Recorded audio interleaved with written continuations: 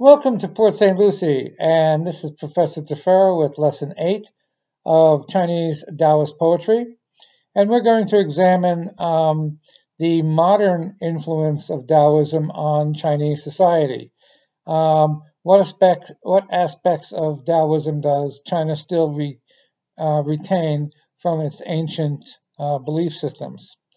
Well, um, basically, the uh, Chinese population is still superstitious about a lot of things that um, are part of the Taoist uh, religious ceremonies, um, especially when it comes to families and uh, feng shui and other things like that. But uh, generally speaking, um, they are not superstitious to the extent where they change their lives.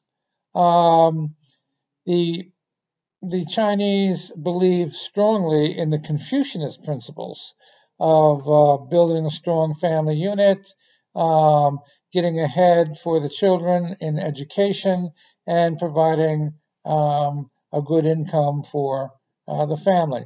So um, these Confucius beliefs um, are in direct conflict with uh, Taoist beliefs.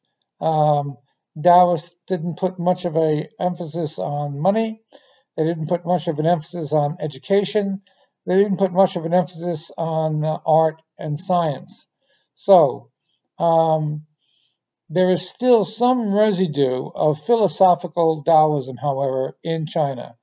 Um, the uh, the ability to use common sense, uh, which influenced Confucianism, um, is still readily apparent in Chinese society. So that um, even though uh, many millions of Chinese don't recognize it, um, Confucianism's um, contributions of common sense originated in philosophical Taoism.